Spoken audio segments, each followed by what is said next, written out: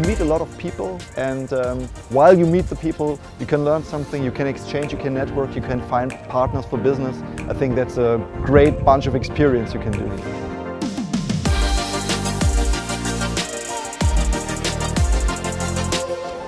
So Heureka is um, one of the leading startup conferences here in Germany.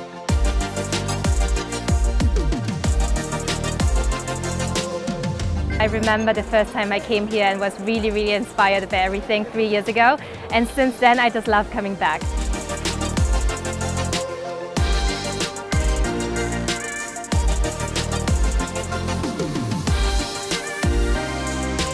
For me, it's like uh, you need to talk to the other guys and you need to learn from each other.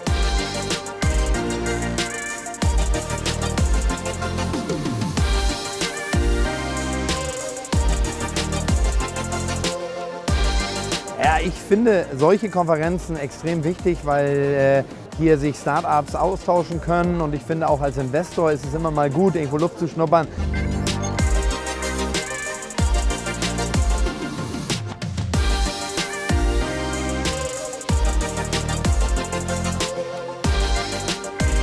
Viel mehr bringt es den Startups auch untereinander zu reden, nicht nur tolle Vorträge zu hören, sondern sich da auch mal auszutauschen und mal zu hören, was macht der andere gut, was macht der andere schlecht. Und wenn es da offenen Austausch gibt, glaube ich, ist es ein super Networking für, für alle.